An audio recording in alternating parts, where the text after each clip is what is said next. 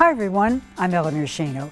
We have some things to show you that will boggle your mind, so promise you'll stick around.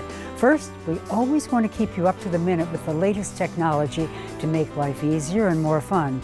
Our professor of electronics is standing by. And if you still haven't heard about the book that has been sweeping the nation, we've invited an expert to tell you the secret behind the secret.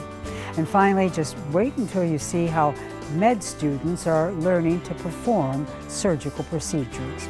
We'll get you connected to those topics and more next on Life Quest.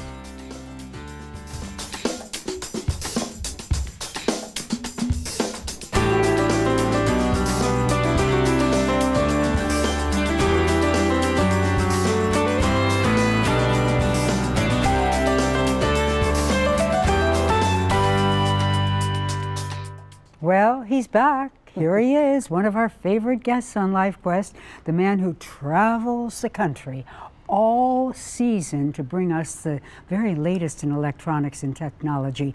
Dr. Frank. Nice to be with you, dear. Yeah. Good to see you again. Sometimes you bring to our audience Mm-hmm. things before national television has them. True. Thank you. Yeah. All right. So we're gonna. I, I went to three different, actually many shows, but home builder show, kitchen and bath show, and the electronic show. So we're going to bring a little potpourri of a little bit of everything that was kind of new. We're going to start with the home. All right. And the first thing we're going to look at, we have a um, we have a photograph of a new product that's made by a company called Aprilaire. They are the leaders in research in HVAC, which is heating, ventilation, and air conditioning.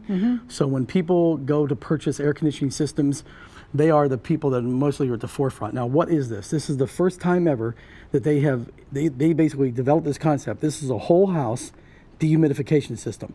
So instead of buying those little tiny dehumidifiers that you put in the basement and all over the place and they make mm-hmm, noise and mm-hmm. they kind of have a clutter, you put this where your air conditioning and heating system is in your utility room. You see the box that the two gentlemen are looking at? Small, isn't it? Yeah, it? it is small. And what's neat about it is that it will remove the humidity in the house instead of you using other dehumidifiers. Now, people have a real humidity problem, obviously, in the spring and summer months, mm-hmm. which we mm-hmm. are into now. Mm-hmm. And one of the neat things that this does is it maintains that humidity level of anywhere between 35 and 45 percent. All right, what about in the winter months? In the winter months, you will need to add moisture to your home, so Aprilaire makes something called a humidifier. Okay. And it does the opposite of what this guy does. But the breakthrough here, Eleanor, is that this is the first time ever that one unit can be placed in the home in the central heating system area, you see, without the clutter, without the noise, without the racket. Because you know, people that have basements, and this is part of the problem.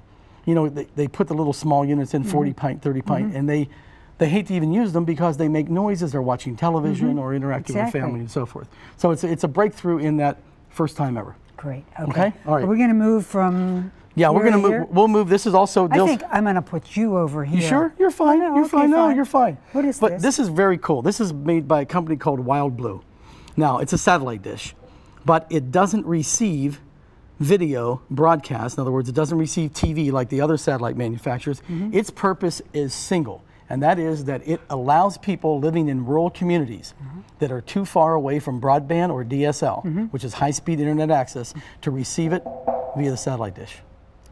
So you erect this dish outside of your home, okay? Mm-hmm. Here's the modem here in the front, which I'm just, I'm holding up so our audience can see it. That's the modem, okay? And what's interesting is the National Rural Telecommunications Cooperative. These are the people that supply electricity through all the rural Right. areas. The problem has been that students, for example, people that go to school with my daughter Stephanie live in rural areas.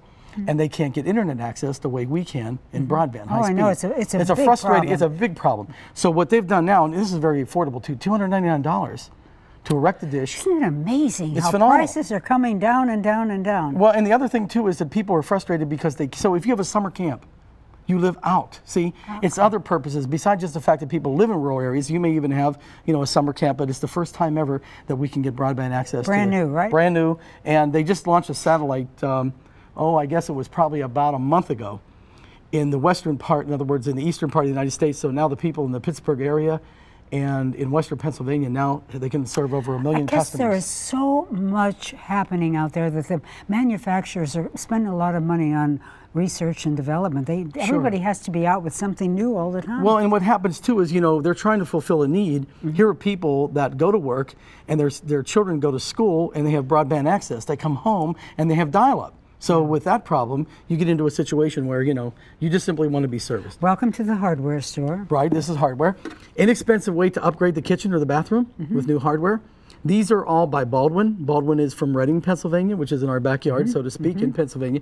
But the biggest thing that they brought to the industry, so you understand the difference here, is that most people stamped the brass before this company got involved in hardware. These people forge it. There's a big difference. When you forge something, you can get more detail. You have a better finish. The finish Real lasts quality, longer, and the it? quality is incredible. Well, just fill it. Just fill any of the pieces that are on there. Oh, but these, there's a series here of knobs and different types of hardware that are available. And the key is the, the finish. In other words, nickel is very popular today. Brushed nickel, brass, you know, a bright nickel, or even a um, uh, some type of a satin nickel too. It just depends. and People never- like.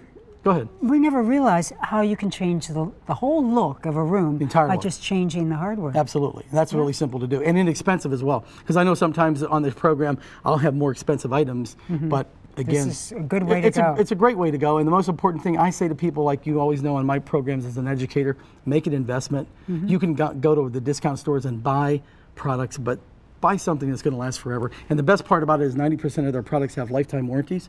So if you, you know, if something happens to the knob, you just simply replace it. Hey, what's next? This is from Lutron.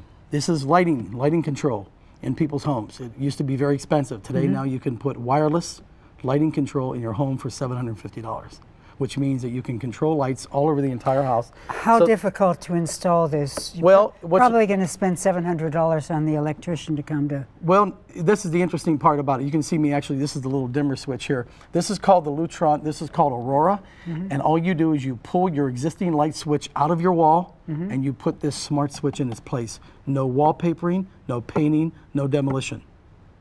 That simple. That's simple. And see, that's where it has to be for people to enjoy it. But it's made by a Lutron called Aurora. And now we Now- get to the little stuff. The little stuff, yeah. Of course, holidays and, and, and the fact that we're getting into the summer months and so forth, cameras are really hot. What's this over here? It looks like a fan. This is well, this is this is a. You know what those are?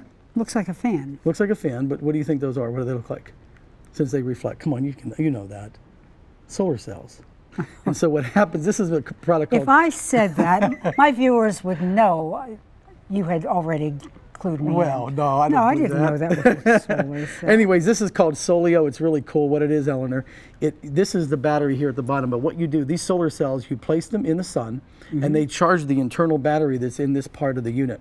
And now you can connect your cell phone or any battery-operated device to the Solio, and it will automatically charge it or keep it running. So you could take it with- with ball you to game, the ball picnic, game. Right. absolutely. How Anywhere, even even on a trip, hundred dollars which is pretty cool. And it just simply folds, you know, kind of flat and so forth. Now, cameras, the only reason I want to touch cameras real quick is because these are brand new from the photo show. These, this is 10 megapixels, meaning that that means that we're looking at 10 million dots per picture. Look at the size. Look at the size, how small. Gets smaller nice big viewfinders and so forth, as you can see. But that's what's happening with cameras today. These happen to be by Casio, uh, a lot of manufacturers, but bright viewfinders on the back is what people are looking for, higher megapixel rating. And this is really cool. I want to show you this. These are the new micro SD cards. And these are by these are by Kingston. I don't know if, our, if we can get a shot of this, but take a look at this. Now watch what I'm going to do. I'm going to pull this out of the bottom. Look here. Look how, how small. Look see how how tiny? tiny. And that little guy that fell, here it is. I'm going to pick it up so our audience can see It's it. like a fingernail. Right, and that goes into cell phones today. It's going to go into all different types of electronic Mm. devices. And the benefit is, look how small it is. It goes into this SD card, so you can actually use it as a combination of a reader. And they introduced this guy, which is really nice, called the Traveler, the Data Traveler. Look at this. We have an SD card built into it, right? But there's also a two gigabyte memory card built inside this device. So the benefit, Eleanor, is that see, you take this and plug it into your computer, and it reads the card automatically, which is kind of cool. Okay. Some other some other quick things that are Yeah, kind of we've neat. got a All right. couple of minutes. All right. This is a, a radio by Eton. This is really neat. It's uh, it, they call it the Red Cross radio. It is AM, FM, weather band. Okay, all combined Yeah. with a flashlight and Yeah, so we forth. We should all have one. I don't have one in my home. Gonna get it. Well, it's one of those things that everybody should have. It's only $59, but the benefit is you have all of the different Absolutely. resources built into it. You know, Should that type of power thing. go out or you have some Right. weather, weather emergency. Oh, yeah. Now, you know, people like to keep coffee hot, right? And Mm-hmm, different liquids. Look at this. Brand new. This keeps liquids cold. Brand new. So you plug it into the USB port of your computer. You see the little USB device there? And it chills the cup or the can of soda, whatever, to 45 degrees. First time ever. We don't have enough USB ports anymore. Oh, I know. Now, some other things. This is navigation. This is neat. This is by Delphi. Mm-hmm. And when we say navigation, this goes on the windshield. See, Mm-hmm. on the inside of the car, it has a gooseneck so you can actually move it. When I turn this unit on, just to give you some idea of what happens, it's going to wake up. More importantly, what's really neat is they have an SD card here at the bottom. Now, watch this. First time ever that you have the maps located on the card. So your upgrades, you see, new maps, new information is just simply loaded into the bottom of the unit. It's that mm-hmm. simple. But what's really neat, look at all the different things you can do. Look, look at this. You've got navigation, music, movies, tunes, videos, just about a calculator. So it's got all of these other functions, including the navigation. 20 system. seconds. What are you going to do with 20 seconds? Well, I'm- I'm- Everything you here? would- well, we could yeah, we could show a couple of things. This is really neat. This is by Logitech. This is brand new. It's their wireless remote control unit. People have problems because they have five or six remotes. Mm-hmm. You can put all the remotes now into one unit. Look at this, how cool. Okay. People are becoming obsessive about technology. Well, they have you to. have to they have, have to. la- That's You right. know why? There's That's too many things out there to organize your life, and we All want to use them. But Back into the marketplace, so you'll have new stuff for us next time. Absolutely, Dr. always. Frank, it's always always great to be with Love you. Having Thanks you for having here. me on. Okay, coming up, we're going to try to uncover the secret behind the best-selling book, The Secret. That's next on Life Quest.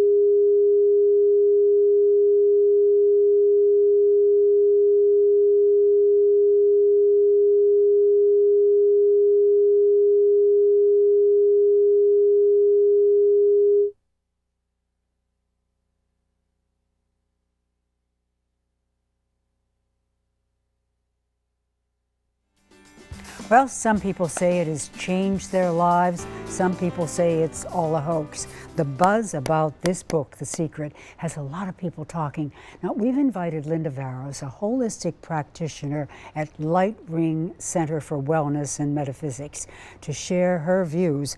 What do you think? Can it change a person's life? People are saying it has. Oh, absolutely. It, it, it's really about a shift in, in, in personal thinking, uh, personal processing of information. The thing I find interesting is it's become a catalyst to, to take all of this into mainstream, and people have been absorbing it.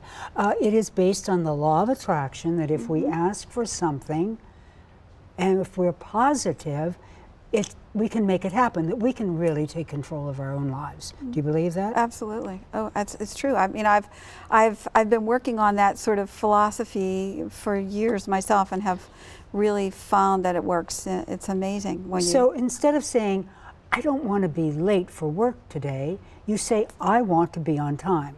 It's all about yes. positive, Right. not negative. All right. Um, how, how much how, how much does the power of attention intention really affect the outcome? Um, I think it's almost, it, we're talking about a 90% to 100% difference in what occurs in your life. I mean, if we, if, you know, do you ever notice people who are always complaining and talking about what's not working right in their lives? They just seem to get more and more of that. And also, uh, on the other side of that coin, there are people who just seem to have abundance flowing all the time and they're very joyful people. There is definitely something to the fact that they are attracting, and, and that's a law of physics, that's a law of the universe. Like attracts life, um, just the same way that uh, gravity is a law that we can't ignore. Um, I think that, you know, the reality is we just don't think about this, we don't give it a lot of thought. We all have an energy field, and, and I can feel your energy. There are other people that I can feel their negativity. They're taking my yeah, energy. Yes. hmm That's true. I want to ask you about some other things that we all find fascinating. I'm going to ask questions that I, I don't know the answers to any of these. You are a clairvoyant. Mm -hmm. What is that? Is that a gift that you were born with? Um, it took me a while to recognize it as a gift. Uh, was I was fearful of it, and and that is really perceiving things um, before they happen, or even picking up things that have happened in the past when you're around someone. Uh, particularly if you're an empathic clairvoyant like I am, um, that tends to lead you to sense things that people have perhaps maybe just experienced, mm -hmm. and um, so it, it's it's it is similar to being. Are you a psychic? Uh, I really, I don't like that term. I, I you know, but yes, I guess we all have psychic abilities. Yeah.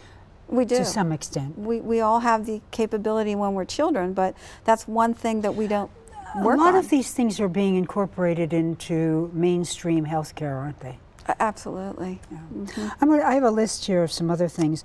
Uh, mental telepathy. Now, we all, all have had that experience. Mm -hmm think about a friend that I haven't thought about for 10 years. The phone rings, there she is. Mm -hmm. That's a very simple, uh, uh, very simple example. Astrology, uh, astronomy versus astrology. Oh, that, that's a huge we, subject. We like that's, to read our horoscope, yes. even though we know it means it's so general. That's, I think that's what makes astrology look like it doesn't have value is because it's been so generalized. But don't forget the ancients followed that. It was combined with astronomy. And, and if you think about the fluids in the human body, we're mm -hmm. what, 90% water, 80% water, and the moon affects the tides, how could that not affect us? You know? Tarot cards, um, you read tarot cards. I do. Mm -hmm. How can turning those little cards over tell you something about a person? Uh, you know the history of the tarot cards, and I'll just touch on that very briefly. They really have. They came from the, the Library of Alexandria that burned to the ground. So this is centuries back in history. And that was, uh, that library housed religious knowledge of mm -hmm. man's history. And um, the tarot cards were developed around the, the sort of the priests, the elders, um, took that information and did visual uh, pictures, um, which really were the root of the tarot. And so it's the way you turn them over, right?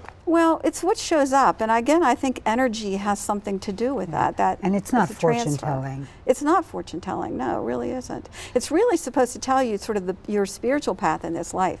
That's the purpose for tarot. It's not evil. A lot of not. this, a lot of this is is becoming mainstream. People are it seems to me that today people are searching for answers. Yes, we all are.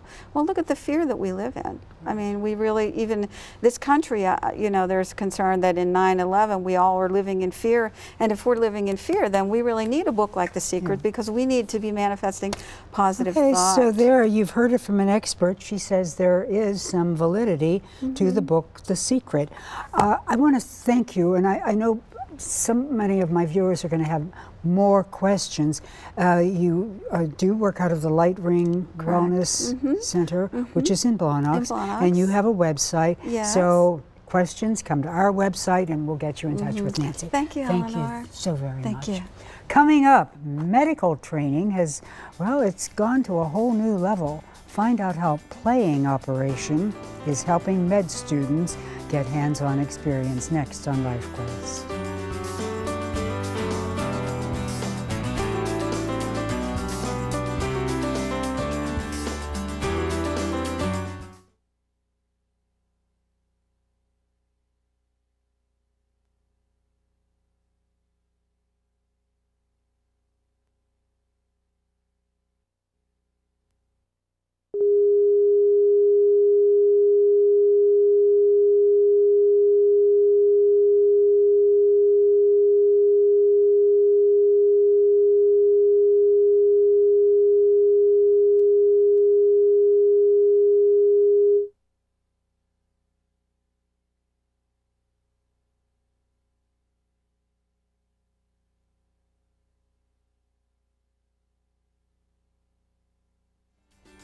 Now, most people have heard of or even played the game Operation.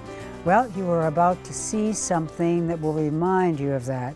LifeQuest contributor Lynn Sawyer is here to explain. Play the game Operation? It's like playing doctor, Ellen. Yeah. we won't go Tell there, me though. more. Tell me more. What you're about to see is something that will remind you of that game, but this is no game. It's new technology for medical students, helping them get ready to practice in the real world. Take a look. Mr. Smith, can you hear me, Mr. Smith? Okay, he's got no pulse. Condition A, call okay. condition A. A medical emergency. Start compressions. And doctors try to revive a patient. He's got a pulse, stop. Give him some air. But actually, this whole scene was staged. What was done correctly? You called people right away. Called people right away. What else? These aren't doctors yet. They're third year medical students. And the patient? It's a mannequin, but not the kind you see in a department store. You still want your fingers to be trying to lift up as much as possible. These mannequins are teachers called simulators. Okay. Make sure that you keep the, the scope tight. They help simulate situations so that budding medics like these can learn life-saving techniques. Bend the, the edge of the scope up and you should see Gladys there. Tom Dongilli is the Director of Operations at the WISER Institute at the University of Pittsburgh Medical Center in Oakland. WISER Institute is the, the acronym for the Peter M. Winter Institute for Simulation, Education, and Research. We're a medical training and education center that focuses on simulation-based learning and education. Medical simulation hasn't been around long, only about 10 years or so, but it started with an idea from University of Pittsburgh physician Peter Safar. Safar is considered to be the father of CPR. Peter Safar approached Asmund Laerdal, who was a doll manufacturer in Norway. He wanted to create mannequins that helped train people on CPR. Uh -huh. So he approached this doll manufacturer, and, and that was really where the Resusci Anne-CPR mannequins came from.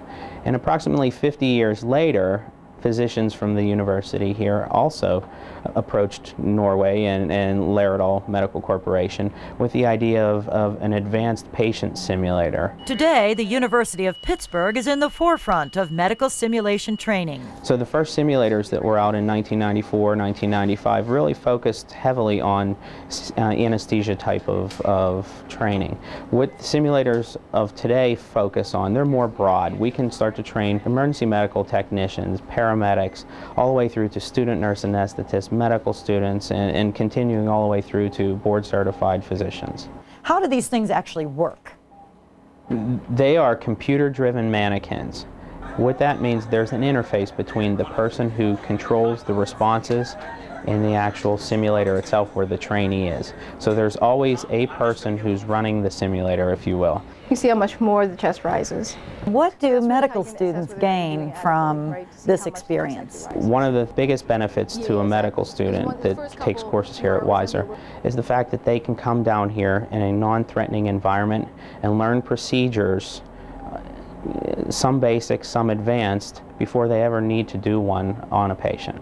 Simulators can be programmed to recreate a variety of crisis situations, situations that students may rarely see in their training with human patients. The benefit is you get much better trained clinicians at your bedside. You get a level of uh, standard of education and care um, that centers that don't have this type of training can't supply you. And at some point you're going to need to turn the scope up or down as we work our way through the airway. Okay. So this needs to be straight. There are specialized medical needs that can be addressed by simulators. For example, the military uses simulators to teach medics how to treat injuries sustained in battle.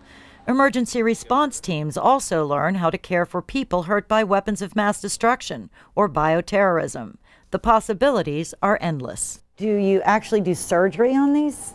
There are models to do surgery on. Unfortunately, these particular ones we don't do surgery on, but there are also surgical simulators out there.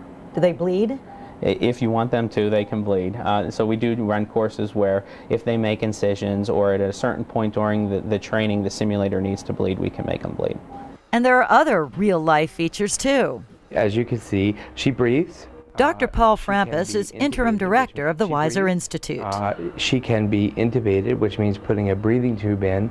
Uh, she could be defibrillated if her heart were to stop or she were to go into some kind of rhythm that would require that. We can monitor the vital signs. This helps us to monitor how much oxygen she's getting. Uh, you can see on the screen that we can see her heart rate, her blood pressure, her temperature, and a lot of sophisticated monitoring that you would find in any intensive care unit in any hospital. She also turns blue when she gets uh, has trouble breathing. So she is state of the art. She is, she is that. This is mom.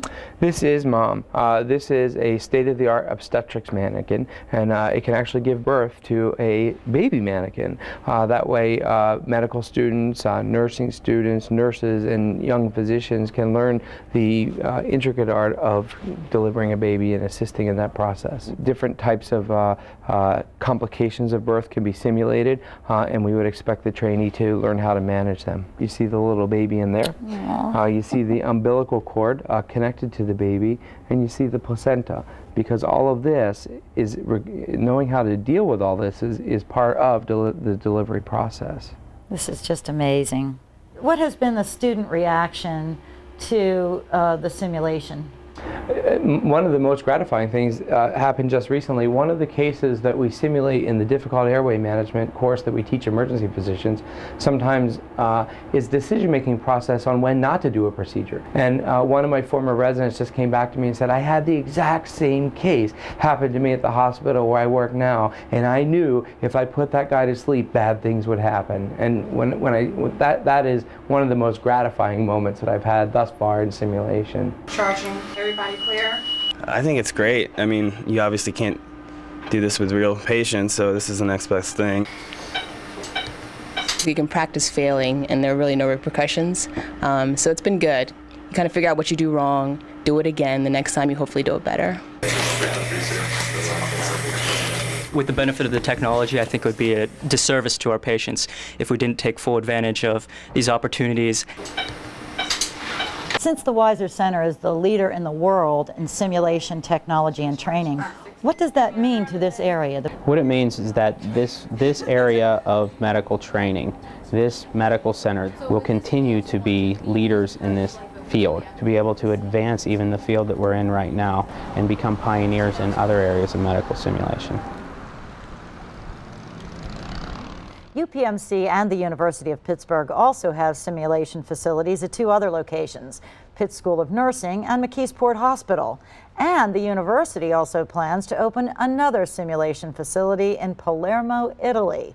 So this type of technology is quickly gaining popularity, Eleanor. Lynn, I, I think the thing that struck me most was the, the enthusiasm that the doctors had. Oh, they, they're they very passionate. passionate. about what they do, and researchers are constantly reevaluating the simulators, and they make them more realistic every time. So the future is bright. Yes, it is, and I think the whole thing for me was that I didn't have to be a guinea pig. you know, well, not just me, but I mean. Uh, they have to learn. absolutely, and it's better than having 12 12 med students standing around a patient's Right, but bed. I mean, this gives them a hands-on opportunity where they don't have to worry about that life and death situation. They're looking and they're learning and they're trying things for the first time on a simulator. Thank you so much for bringing that to us. Uh, thanks to Lynn, and uh, if you'd like any information about anything you've seen here on LifeQuest, just check out our website, wqed.org, or you know, you can always reach us by dialing 412-622-1575. Just make sure that you leave your name and phone number so we have a way to get back in touch with you. I want to thank all of my guests for joining me today. We hope you stay connected with us each and every week. I'm Eleanor Schano. Remember, good years start right here. Be well, everyone. I'll see you soon.